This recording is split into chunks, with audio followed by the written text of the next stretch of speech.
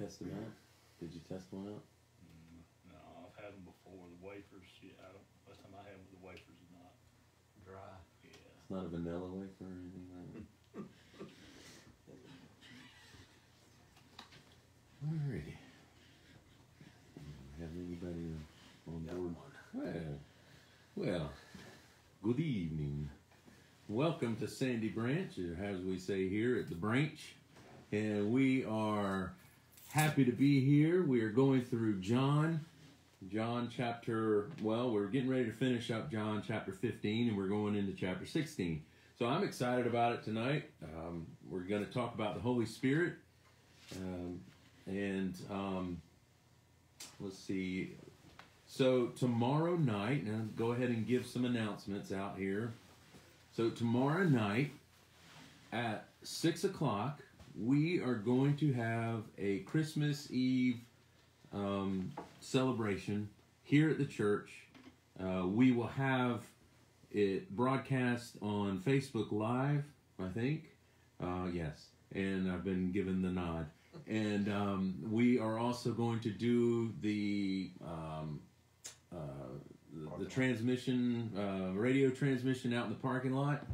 So uh, we're, we're going to cover all ends here, and then we're going to have the inside as well. Now, we're going to have uh, the Lord's Supper, and um, we're going to sing, and we're going to, I'm going to talk about uh, Christ coming into the world and uh, why he came as a baby. And so I'm excited about that and I'm looking forward to that. And we got a special little gift for you. So uh, please uh, make sure that you're here. Um, and that is at six o'clock. We will probably start the videoing or the, the Facebook Live thing here uh, at what Five. five two. fifty five. Usually uh, about five minutes before we start the service. So I'm looking forward to that. I'm looking forward to seeing you all there if you come and uh, you're more than welcome to come. Uh, let's see what else. So we will be we will have service Sunday as well. So Wednesday, Thursday, and Sunday. Wow, it's like a it's like old times here. We got Bible almost every day. That's good. Was it Sunday, Sunday night, and Wednesday, and and Tuesday night uh, visitation? And man, it'd be nice to get something like that again. But uh, but anyways, because I, I I mean really, in all honesty, I like coming to church. I remember uh, I think my church still does that back at home in in Jacks Jacksonville. Um, but uh, anytime the doors were open, I wanted to be there. So I, they were giving us food. You know, you'd be paying three dollars for food. I was going to be there, and we are going to Bible study. I was going to be there. We have a choir. I'm going to be there. And I just liked being there. It was great. I wanted to learn. I wanted to hang out with all the all the peeps.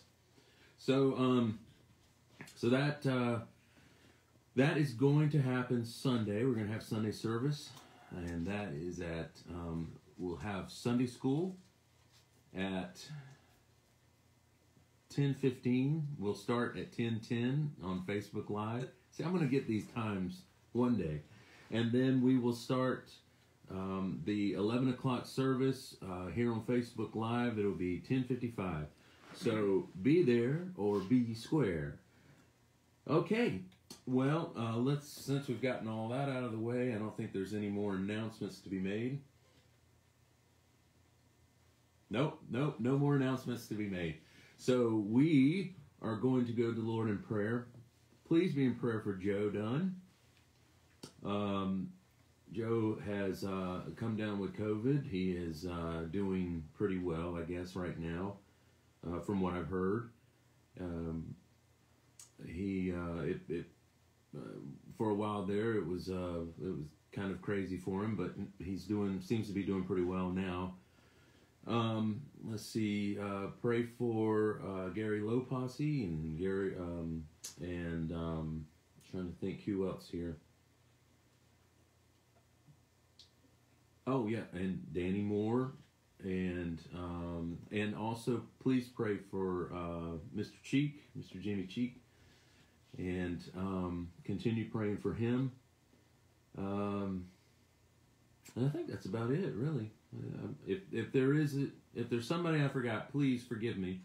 Uh, we will. Uh, I'll have to write these things down, but I think that's about it. Pray for Norma as well, if you would. Um, I think that's about it. So let's go to the Lord in prayer, and we'll lift these people up, and we'll ask God to bless our time together. Father in heaven, I thank you for this time that we can come together and study your word. I thank you that you have given us your word. I thank you that Jesus Christ is the word. And that in the beginning he was with you and and uh, Lord, I, I thank you that you sent him to save a people for himself, for yourself. So Father, I thank you that uh, you sent him to pay that price. It was a hefty price of his life, but Lord, you have rewarded him.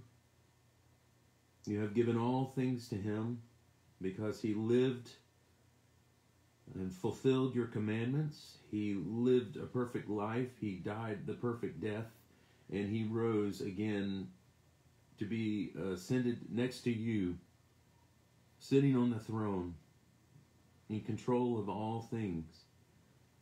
Father, I, I thank you that you have done that for us.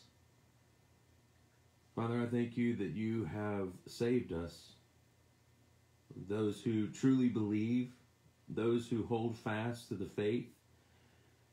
Father, that's what it's all about. And we'll get to study that tonight as well. Is that it's all about believing, it's all about trusting you it's not about what we do, it's about trusting you. And so, Father, I thank you. I thank you that you have done that for us. I thank you again, Lord, that you have sent your word into our lives and, and, and proclaimed your goodness through your word. You've proclaimed also your judgment through your word. And so, Father, I pray that we continue to, to seek you, to know you, Father, and to know that there is a judgment that's coming and that we must go out into the world and proclaim uh, that there is this judgment that's coming.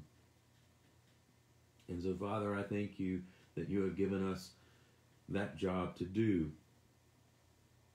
Father, I lift up those who are sick, who are ill, who are uh, who need healing. Lord, I, I ask that you touch them that you uh, heal them in a mighty way and that they may glorify you. I ask, Lord, that all of your will be done here on earth as it is in heaven, Father, and that your kingdom will come here on earth as it is in heaven. And I thank you in Jesus' name. Amen.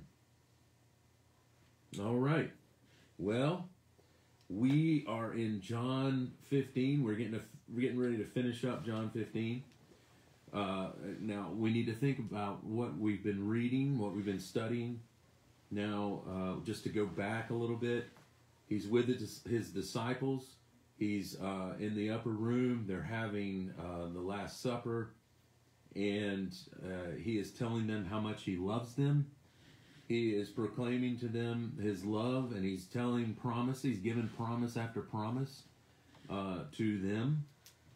And uh, then he gets up, and they get ready to leave. And as they're leaving, they're as they're on their way to the Garden of Gethsemane, he tells them that he is the true vine, and that anyone that is plugged into him, anyone that is in him, that abides in him, will have life that flows through them and fruit coming out on the other side. And those who are not abiding in him will be cut away and thrown into the fire.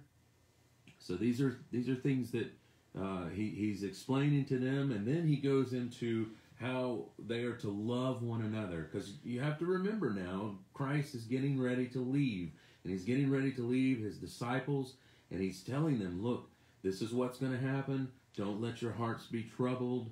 Don't be dismayed. You know, he, he's telling them that I am providing a way for you to, to the Father.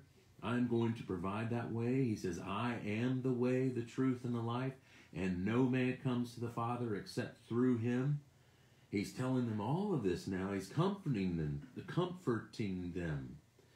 Okay, this is his love for them, and he's and he and this whole time he's giving them promises. He's telling them, "Look, I'm not going to leave you alone. I'm going to come back to you. I'm not going to leave you alone. I'm going to the Father, and and the Father is going to send the Holy Spirit. He is with you, and He will be in you." Is what he's telling his disciples. He's also telling his disciples that the Father, the Son, and the Spirit will be in them uh, because of uh, they are one. The Father, Son, and Spirit are one. And so what you see here is he's telling them that, that they should love one another, to keep his commandments. If you keep my commandments, you are going to uh, abide in my words. He says, My Father is glorified by this, that you're going to produce much fruit.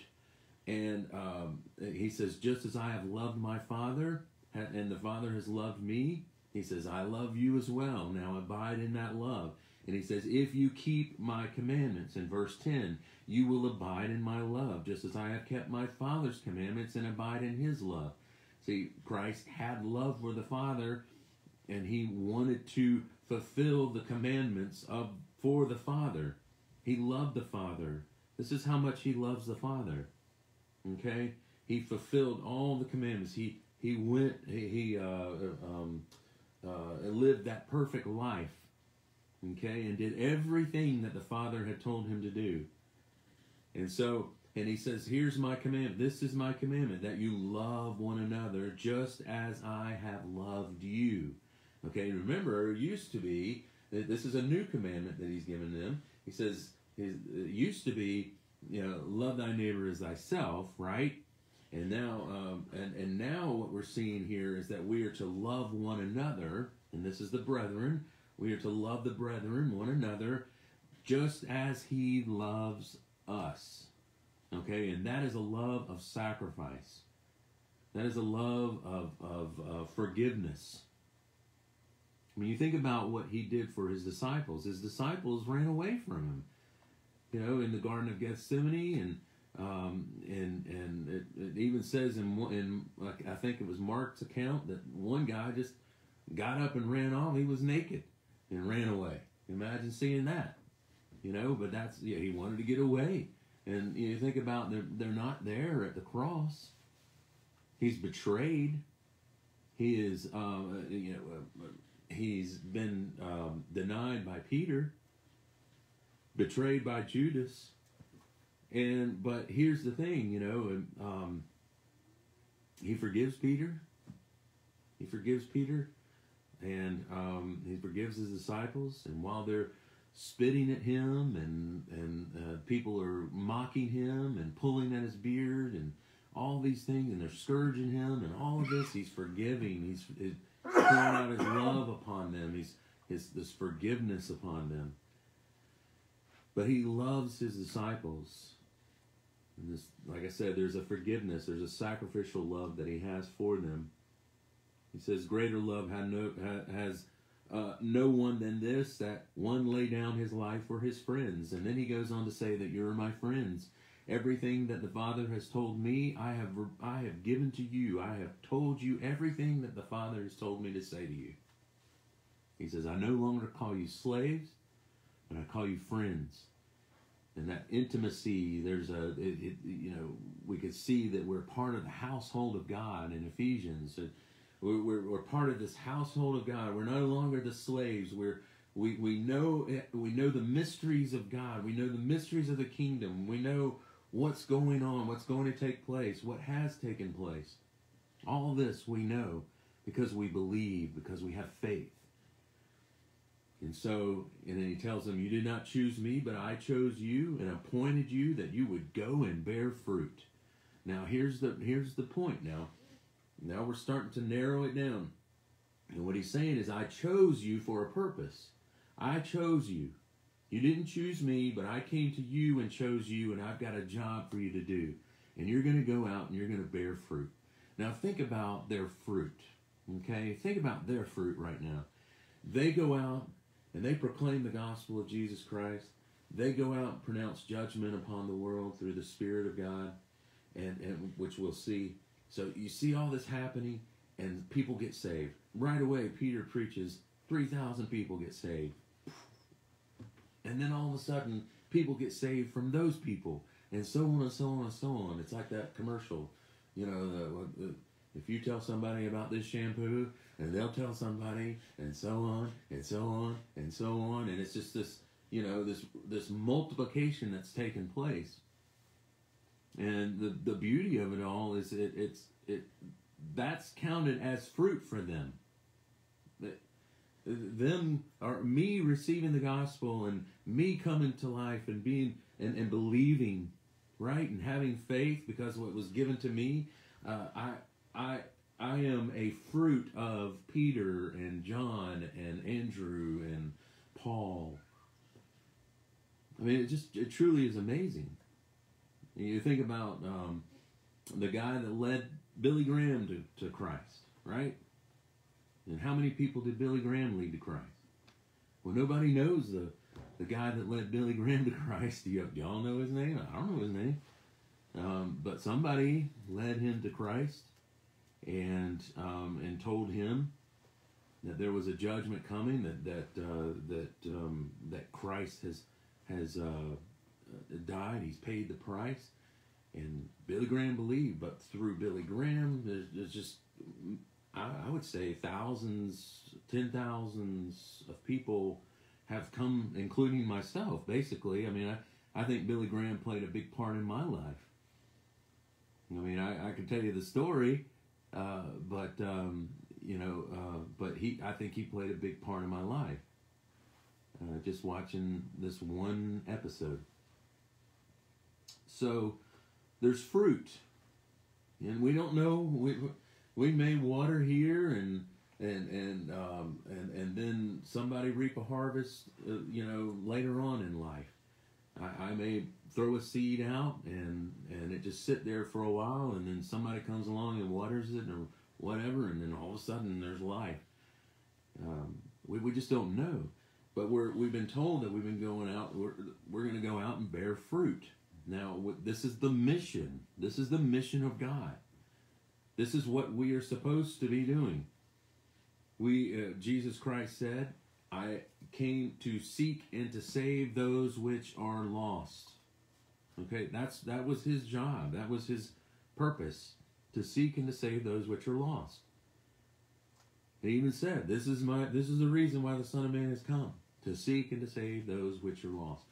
And we, as servants, we as disciples, um, we don't do anything different than the Master. And so what he's doing is he's he's get he's he's telling them, "I'm getting ready to leave, but I'm not going to leave you alone. I've got the Holy Spirit that I, that we're going to send to you, and He's going to live inside of you, and uh, you're going to go out and be witnesses. You're going to go out and testify." And so um, that's that's the, the what we're kind of narrowing it, funneling it down to. All right. And so he says the world's going to hate you because of you know it hated him first. It hated Jesus first. So the world's going to hate you. The world's going to persecute you. And so um, you know, and they're and they're going to do it uh, even in the name of God, right? They're going to do it even in the name of God. They're going to persecute and kill. And we see that. I mean, I can even see it through the Catholic Church, throughout the, the history. Uh, the Catholic Church, um, we're, wiping people out left and right in the name of God. These people stood on faith. These people stood on uh, sola scriptura. They, you know, they, they, uh, which is uh, scripture alone.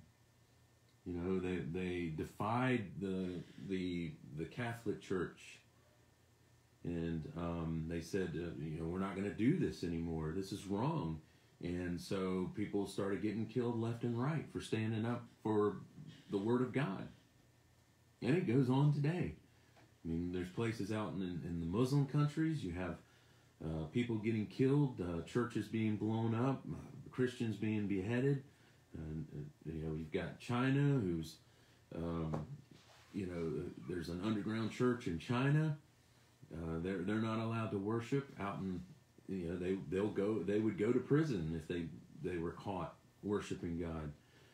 Uh, so there there it's throughout the whole world, and even our world today, even in the United States, it's it's started starting to that that uh, separation from church and state is deteriorating, and state is coming in and telling the church what it should be doing and how it should be living. And uh, I was reading an article the other day where um, the, the the government, the legislation, uh, legislature in uh, Virginia is telling all the churches that they have to, they have to hire uh, transgender and homosexuals and people, uh, and, and, there's things that they have to do, uh, and, um, uh, and I mean, and the churches are, are, are if they don't comply, they get fined a hundred thousand dollars. I mean, that's that, that's what our world is coming to, you know. Um, in Texas, there and I think it was Houston, Texas. The mayor at one time, uh, who was lesbian, and uh, she was on the attack of the churches, and she she wanted to know she wanted to have the the pastors send her the sermons that they were going to preach uh, in, in, the on that Sunday to see if it was okay. That, and, but that didn't pass, and and, and you know the, the churches stood up for that. But but I mean it, it, it's a constant. There's just going to be this constant um, tearing down, tearing down, trying to tear down, uh, because we uh, we worship the one true God. We uh, value family. We value life uh, you know, we and and uh, so we're going to be attacked. We're going to be attacked for things like that, and it happens. Um, again, last week I told you the, the world hates you. The world does not like you. Uh, they should not like you. Let me put it that way. But we have too many churches out there right now that are trying to, oh, world, love us. Love us, world. Love us and um, and and I think it's so wrong.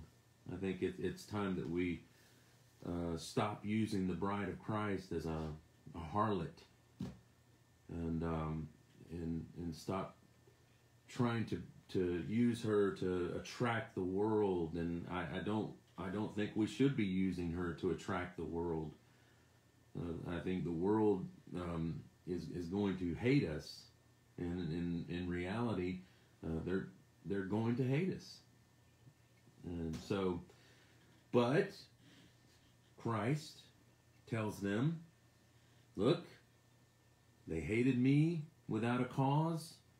They hated him without a cause. He did not do anything to them except bring judgment as far as the, you know, his, uh, he says, I, I did not come to judge the world, but to save the world. But just because that he was here and because he was preaching the truth, the world does not like to hear the truth.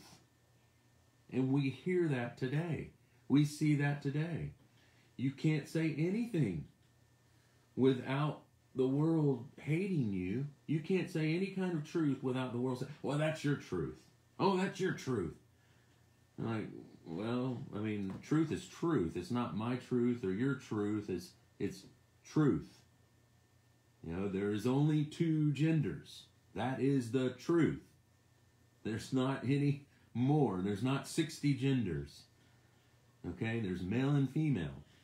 Now, people are delusional and they may think they're a banana or a cat or a woman or a man when they're not. But that's delusional. That's not the truth. So we sit and we hold fast to the truth.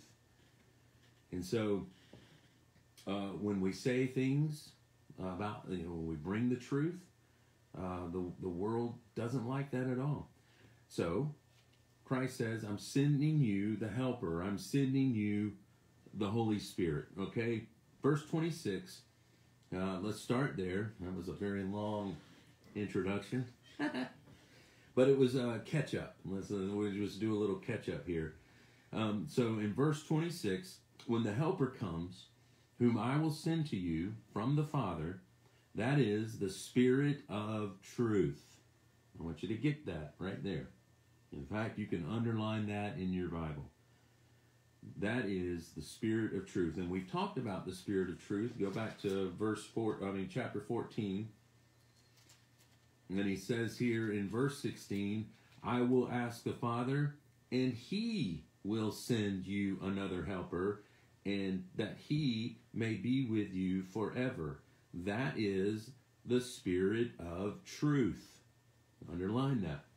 Whom the world cannot receive because it does not see him or know him.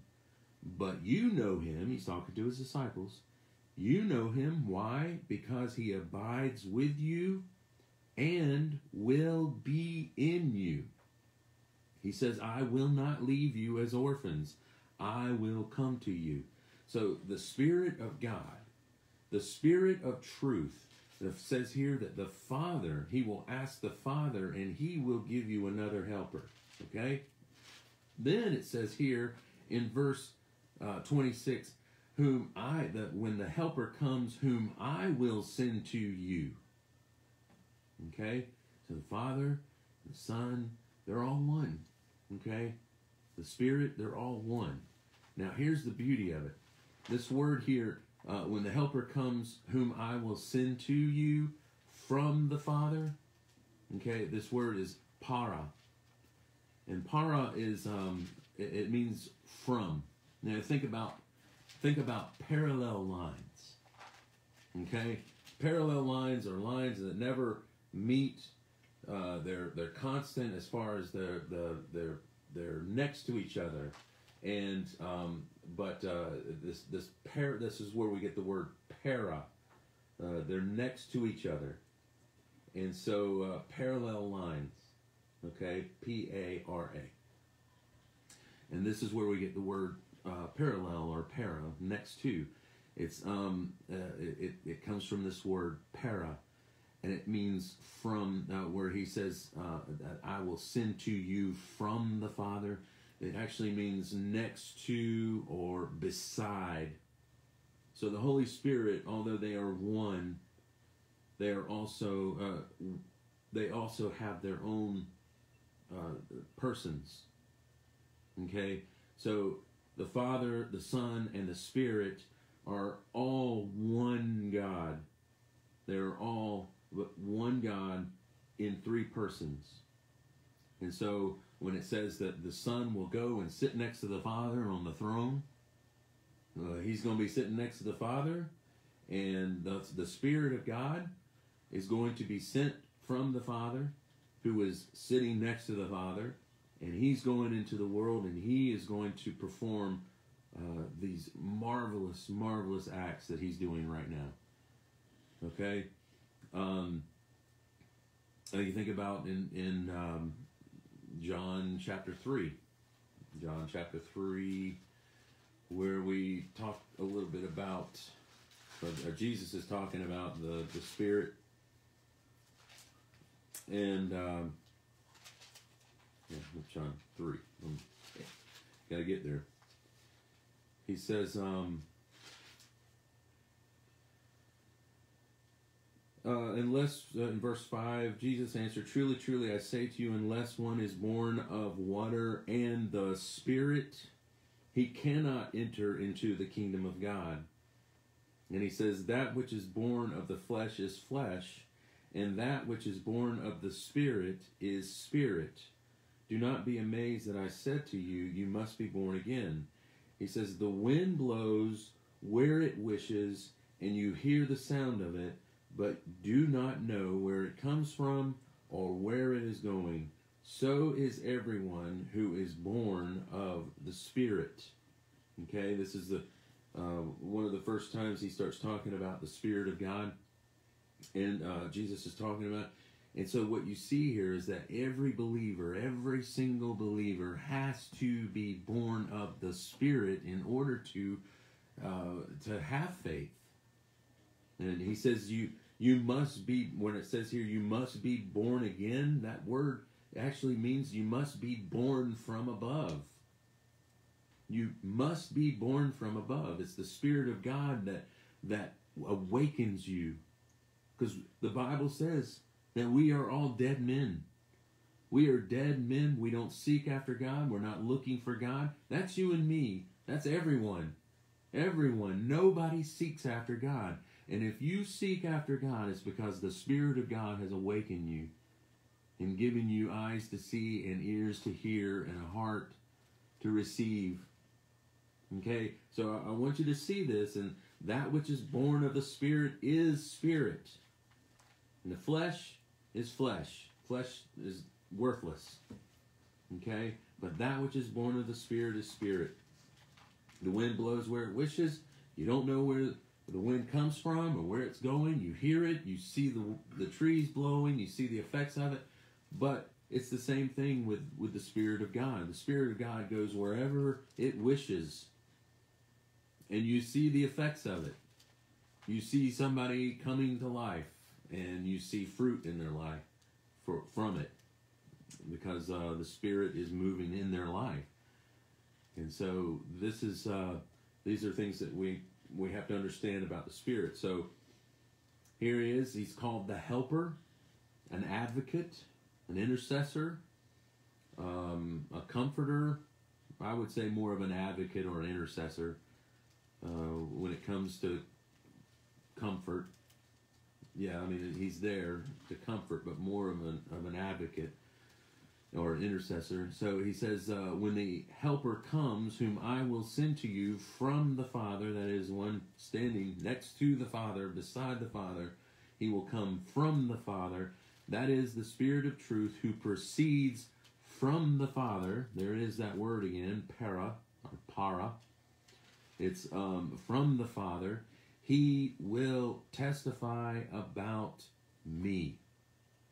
Okay, he is going to uh, he is going to testify about Jesus Christ. He is going to be the witness of Jesus Christ. He is going to tell you everything about Jesus Christ. To a believer, um, he will proclaim to you all that you need to know about Jesus Christ through the Word of God. We have the Word of God. Um, I, I, I want to be careful here because a lot of people use the Spirit to say, oh, the Spirit told me to tell you. When you when people start saying that to you, uh, run. Okay, run far away. Uh, but the it's it's one of those things where if the if if if the Spirit of God is dwelling within me, then the Spirit of God is going to press upon my heart. He, uh, he's not going to he's not going to use somebody else to tell me what to do and how to live. Okay? Uh, we have the Word of God. And if it doesn't match up to the Word of God, um, then, like I said, run away. Run far, far away. Um, uh, I'm, I'm always leery of people who start telling me, the Spirit of God told me to tell you. And I'm like, ah. okay. Um, so, but we have God's word, and again, the Spirit of God dwells within every, every, every, every believer. I want you to know this. I want you to understand this. Okay. Um, it says here that um, He will send the Helper, the Advocate, the Intercessor, and he will testify about Jesus. He's going to testify about Jesus. He's going to tell you everything you need to know about Jesus. He says, now here's the thing, verse 27. He's going to testify about Jesus, right? He's going to let the world know about Jesus. And he says here, and you, you will testify also. You will testify also because you have been with me from the beginning. Now, again, people will say, He's talking to the disciples. He's not talking to uh, believers in the future. But that's just not true. Okay? How did you hear, or how did you become a believer? Let me ask you that. Somebody came to you and told you the truth. The, the spirit of truth came to you through somebody it might have been through the Word of God. It might have been through somebody. But what they did was they proclaimed Jesus Christ. They proclaimed everything, the judgment that was coming, and, and, and what Christ has done to forgive us of our sins, to cleanse us from all unrighteousness, what He's done. And you think about this, and, and so you heard it from somebody. Remember, Paul says, How can they believe if they have not heard? And how have they not heard if we don't send a preacher? Right? Somebody to proclaim that gospel. And so Paul understood it, disciples understood it, Timothy understood it. We have to we have to uh, go out and proclaim the gospel of Jesus Christ. We have to go out and proclaim what He's done. That this is the point. Every single one of us are missionaries. I want you to see this. We don't just send money to those people who are missionaries overseas or anything like that. Okay? We are all missionaries. We are all on a mission. A mission to uh, grow the kingdom of God. Remember what Christ said? Seek first the kingdom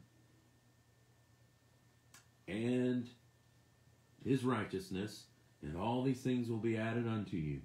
Okay, what he's talking about food, clothing, okay, all food, food, clothing, shelter, all that stuff's going to be added to you. You're going to have that stuff.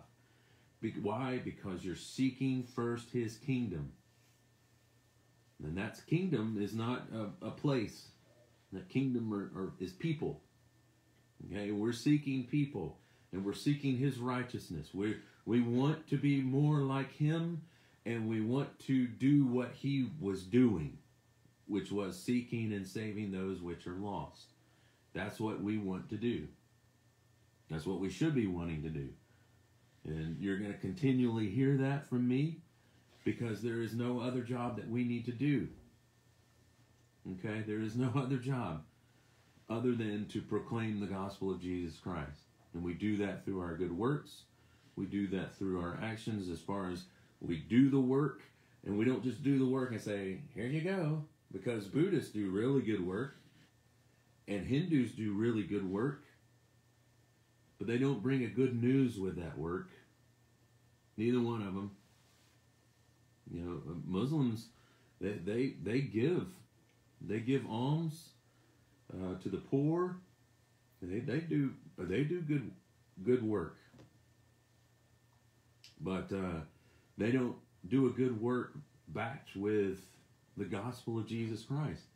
And if we just lay a good work in front of them without giving them the gospel of Jesus Christ or how to escape judgment, right?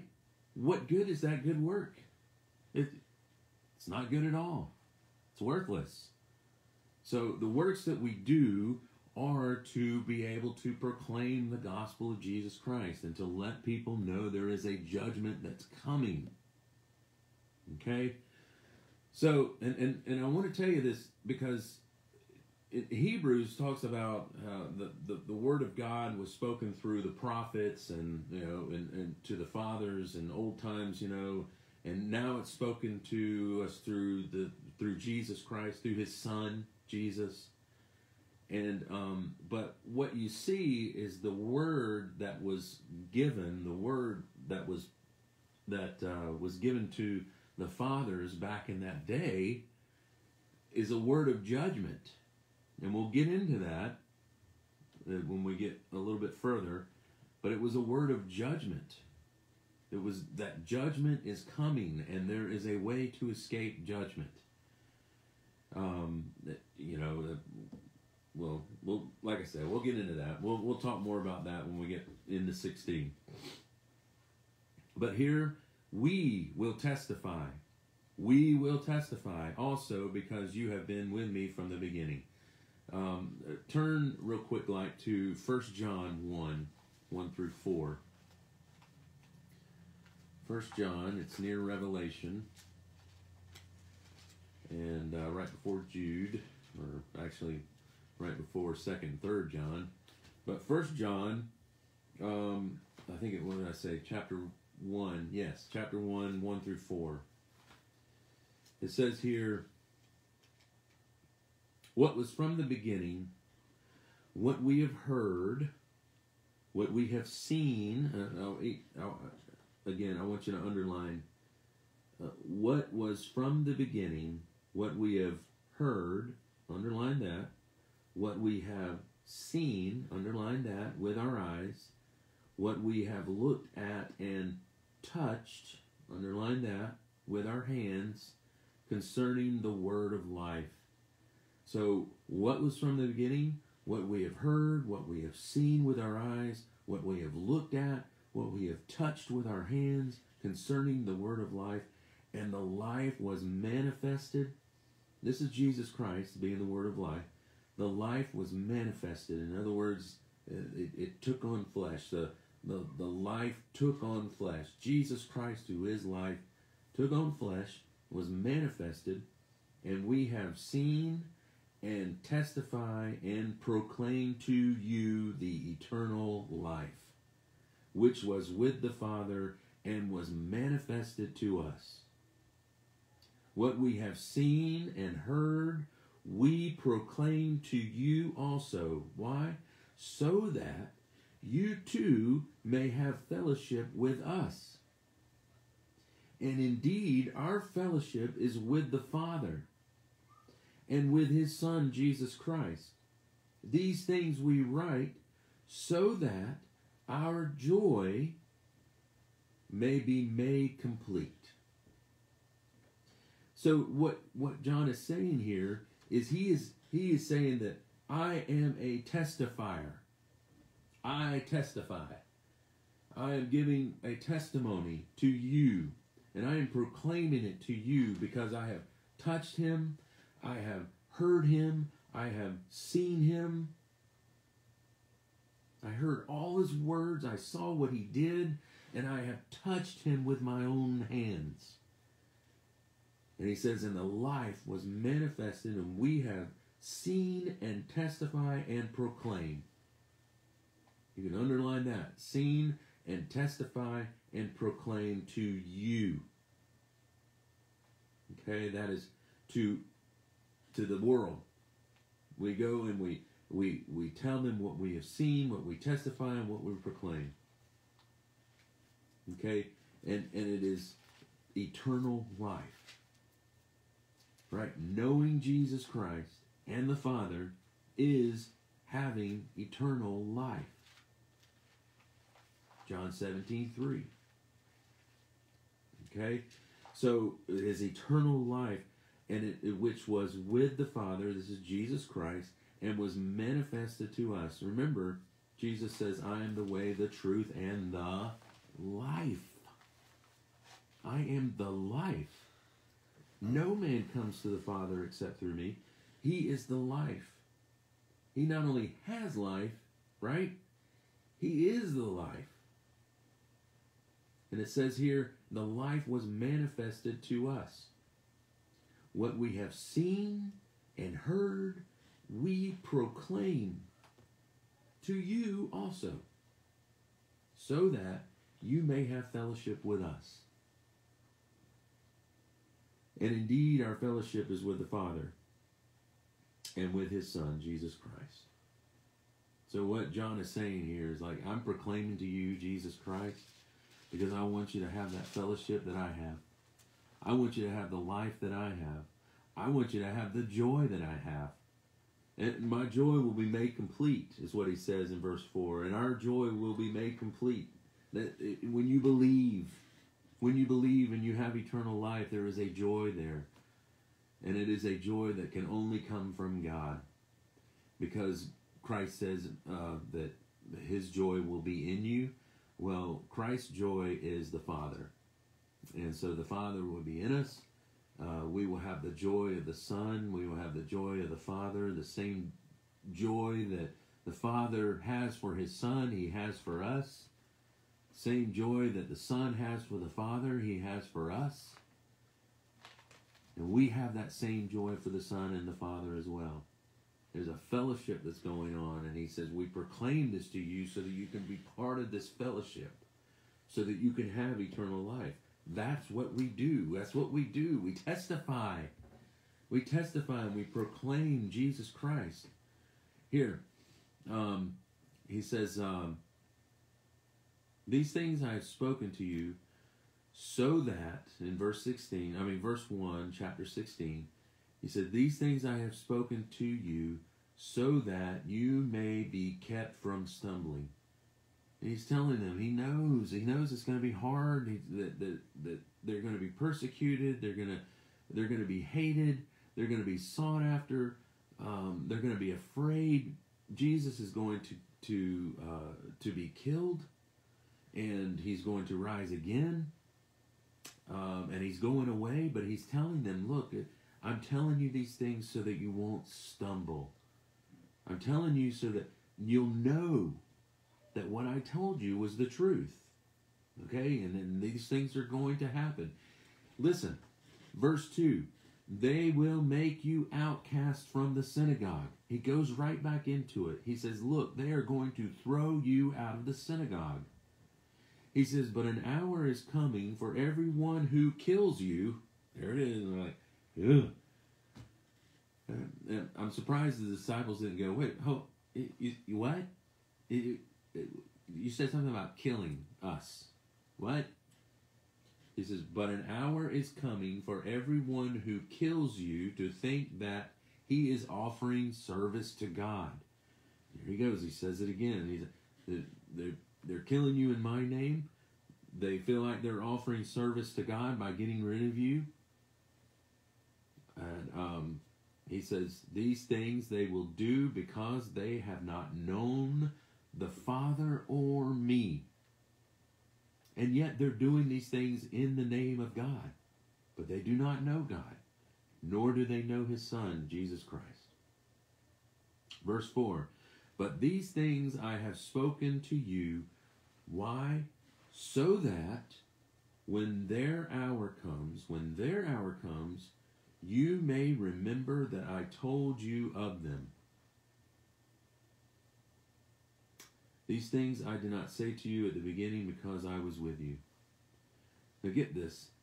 These things I have spoken to you so that when their hour comes, when they're standing before these people who are going to kill them, right? It says, you may consider, or you may remember that I told you of them. They're going to remember what Christ said as they're being put on trial and slaughtered. And I mean, it's it's sad. I mean, think about all the disciples. Every one of them died, um, were murdered, except John. And he was put on the island of Patmos to uh, to in, in, in, uh, to live out his life there as a as a prisoner of this island. Um, you think about Stephen, who was um, who was killed, stoned. Think about um, I think James. James was uh, was was one of the first. I think he was beheaded. Uh, quick like. And so, I mean, you think about all this, and it just you think about the Nero, and you think about the the gladiators and the, those games, and where they would use Christians and slaughter them, and have animals eat them, and uh, you know, it, just things like that, where they would throw Christians on stakes, you know, and light them on fire. I mean again, these are these are horrible events that happened. But Christ told them that this was going to happen. That this was going to happen. And they took all the way to their death. They went all the way and had faith all the way to their death. Uh, that that's something to really be. I'm impressed by that. I really am. Uh, that, that's pretty impressive to me. Um, verse five. But now I am going to him who sent me, and none of you ask me, Where are you going? None of you ask me, Where are you going? But because I have said these things to you, sorrow has filled your heart. Well, yeah. I mean, you just told me that they're going to kill me. Um, and you're going to leave me. Uh, you know that we're going to deny you. Things like that. I mean, it's just. Uh, uh, I, I could see these guys. I mean, it, it, this night was just a horrible night for them. Um, I can only imagine what they were thinking, right? And, and, and what they were what they were going through. We read this like you know, it's like oh, and you know, sorrow filled their heart. But I mean, they were literally probably just broken. I mean, they had no idea that, that Christ had to die. He had been telling them this, but they're like, no, no. They're, they're probably putting it behind them. And, you know, like Peter said, no, far be it from you, Lord, that you should die. You're not going to die. We're not going to let you, oh, I'll fight for you and all this. But that was his purpose of coming was to save. That's how he was going to save people. But the, the, the Jews thought our Messiah doesn't die. Our Messiah comes and destroys. And he and he sets up his kingdom and rules forever and and this is our Messiah. This is what we think the Messiah should be. But you're telling me that that uh, that you're going to die, you're going to leave, we're going to be killed. I mean, that's heartbreaking to them. I sympathize with these guys, and you too should should sympathize with them. It was horrible, but here he, he's comforting them. He's he's he's uh, he, he's telling them how much he loves them, and he's promising them so much. Okay, these are promises that he's given them. He says in verse 7 But I tell you the truth, it is to your advantage that I go away. For if I do not go away, the Helper will not come to you. But if I go, I will send him to you.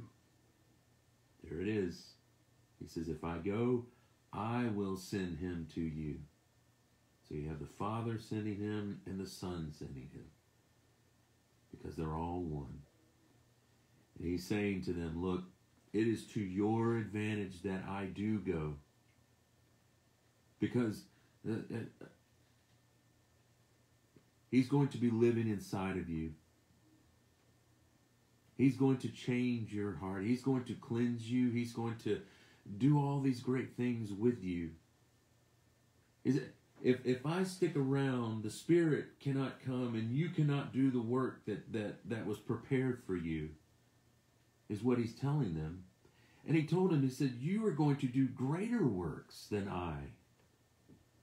And you think, well, Jesus healed the, the, the sick and the blind and the he raised the dead, but that, that's not what he's talking about.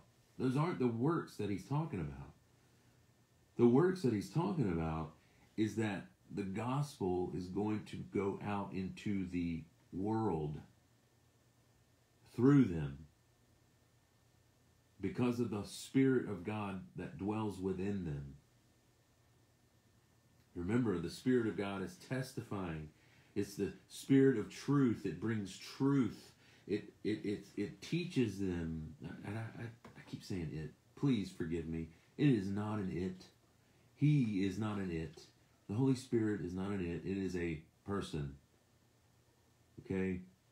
And the Spirit of God um, is it, He comes and lives inside of you and he teaches you all things, everything that you need to know, everything that you need to say.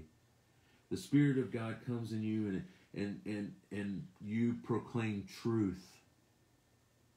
The Spirit of God comes in you and it, you testify about Jesus Christ. You know about his teachings. You remember his teachings because you have the Word of God and the Spirit of God that moves in you that lets you know what he's saying, and what he did. You see, when Jesus Christ left and he sent this the Spirit of God. The Spirit of God gives you power.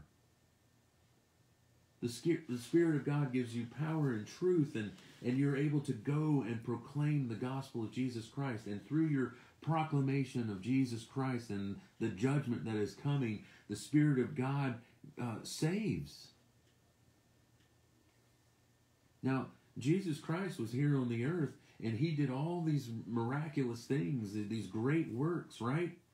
You would think that there are thousands upon thousands of people that would come to Jesus Christ and say, I believe. But there was just a small handful, probably about 500 people. And, and you think about it, I mean, he had a he had a, a small group of disciples that he had poured his life into and then there were those who were disciples that that weren't more of an intimate with him that he didn't spend that much time with them. There was probably about 120 of those. And then outside of that it's just people that have believed. But you know i remember um, it was a question in seminary and uh, my professor asked me, asked us if uh, if he, if we think that Christ's ministry was successful. And I thought about that for a minute, and uh, and I said, well, yeah, of course his ministry was successful. I mean, look where we are today, right? I mean, look, look at all this.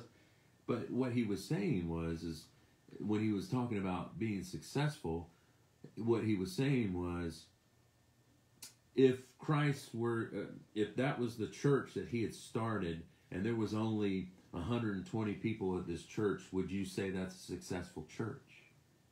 Would you say that's a successful ministry? And uh, people start scratching their heads and we're like, well, it's okay. I mean, that's great. We would love to have 400, 500, maybe 1,000 people, and then that's what we're thinking, you know. That, that's a successful ministry, right? You got thousands of, of people in your church. Um, but that's not what he was talking about. He was talking about the, um, there was a, just a small handful of people that believed. And, um, and, you know, most people today would say, no, his ministry wasn't that great. I mean, as far as the, numbers wise, because um, we're all about numbers. And um, so, I mean, but that that actually made me think. That made me think a lot about. Um, I, I would love. I, it, I, I really don't think about um, numbers when it comes to church. I would love to have uh, uh, people coming to Christ. Yes, I want to see that. I want to see God's God's kingdom grow. But man, just give me, give me, give me ten faithful people. Give me, give me twenty faithful people. You know that are just on fire for God. They're faithful, and they desire to to follow God. They desire to do His commandments. They desire to love the brethren. They desire to go out into the community, into the world, on mission trips, they desire these things. They give up their vacation days for, for mission trips. You know, I mean, you think about that. Give me those people. That, that desire to, to love God and desire to know Him. Man, I, I just, it stinks when you have to sit here and, you know, kind of prod people along, you know, to, hey, love God, you know, here's, you know, it, it just it, it kind of as a as a pastor, it's just kind of you, you have to say okay, you have to give grace and you have to give mercy and things like that. And with, these are things that you think of as a pastor. You know, just keep this. Some people have little faith. Some people have a little bit more faith and that kind of thing. But but man, I just want them to have faith and I want them to be faithful and I want them to just. I don't want to have to continue to. Uh, uh, our old pastor JD uh, my old pastor J.D. Uh, Greear, uh, he would say, you know, you know, like a balloon, and you come on a Sunday and a pop you know hit you up and you float up and then you kind of start floating down and then you come back next Sunday and I pop you again. And he says I don't want to do that. I don't want to have to do that. I want you to keep staying up there. You know I I I, I don't want to have to keep popping you up to make you float. And uh, I you know at first I, I I I didn't really think about what he was talking about um, but becoming a pastor, I, I see it. I see it. There's this constant, you know, where you're having to, all right, come on, everything's fine. We'll get, and then come Sunday, they're like, okay, come on. Or the next Sunday, they're all down. You go, okay, come on down. You go, come up. It's just, uh, I just want, and, and again, this is my desire. Uh, I may be just sitting here. I don't know. What do you call it? pouring out my heart, wearing my heart on my sleeve. But I do. I want faithful people. I desire it. Because um, I look back at, at um, my life, I look back at my wife's life, and I look back at people's lives here at this church that are faithful, and I'm like, man, yes. Keep going. Go, go, go. You're doing great. Um, but um, again, I may be just sitting here pining away. he says, But I tell you the truth. It is to your advantage that I go away, for if I do not go away, the Helper will not come to you. But if I go, I will send him to you. Again, it's the power of the Spirit that dwells within us, that moves us, that gives us life. I mean, you think about it. He, he teaches us uh, the Word of God. Sometimes you, you may not even remember it. And then all of a sudden you're talking to somebody uh, in the future and you're talking to somebody and you're like, ah, I, and, and you give them a verse. And, and you just lay out this verse. And that verse hits them. And, and they're like, oh, yeah, I see what you're saying. And, uh, and, and it just, it just, that's the power of the Holy Spirit. That's the power of the Spirit moving. Um, when when people come to life, when you go out and proclaim the gospel of Jesus Christ to these people, and you see life come into them, when you you see where they get it, and you're like, yes, yes, I love that, I love it. Um, people that have come to Christ that uh, that I've led to Christ, um, through the Spirit, man, watching them come to life uh, is so exciting. And there is a joy there. There's so much joy there. Um, and it's an everlasting joy. I still remember the, the people that I've led to Christ. I, I could still remember those days like it was yesterday. But it was the Spirit of God that was moving in me. It was the Spirit of God that did all the work. Uh, he just wants me to be willing to go and proclaim. He wants to use you he wants to to to use you to go and proclaim the gospel of Jesus Christ so that work can be done. But here's the thing is that the spirit of God moves you to do that as well.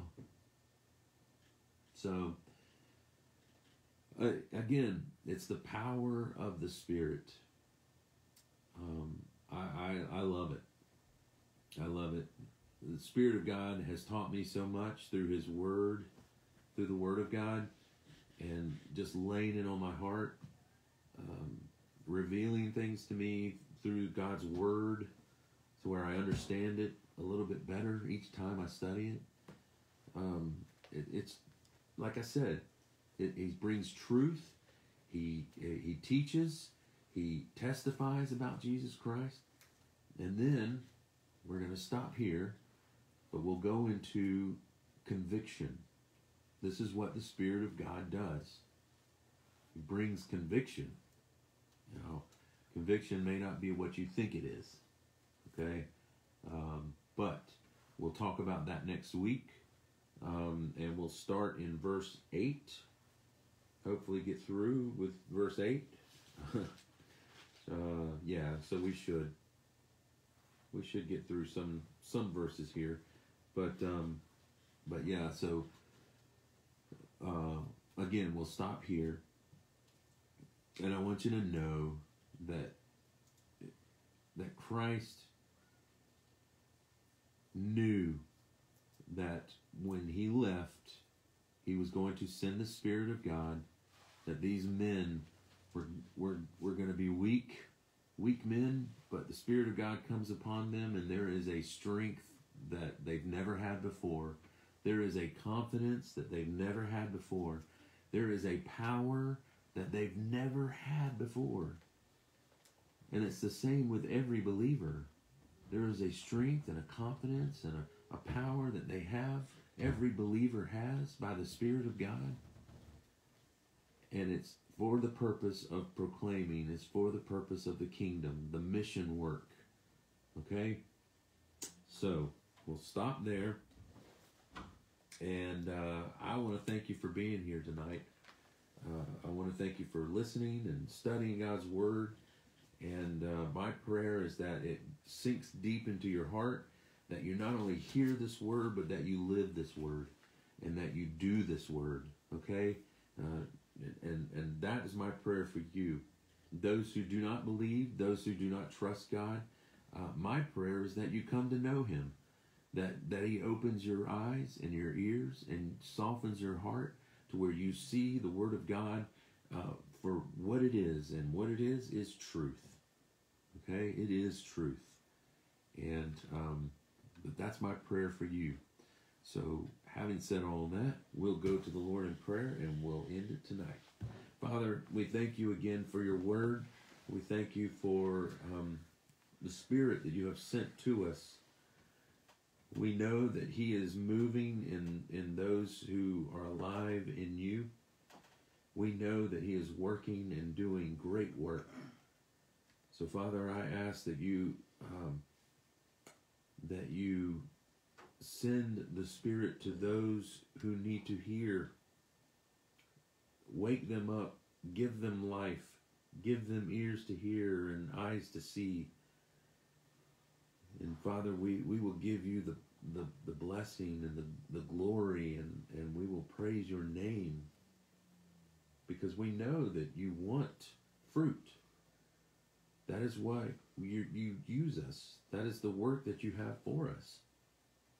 So, Father, I pray that we continue to, to do your work and we continue to, to, to follow you and, and live by your commandments.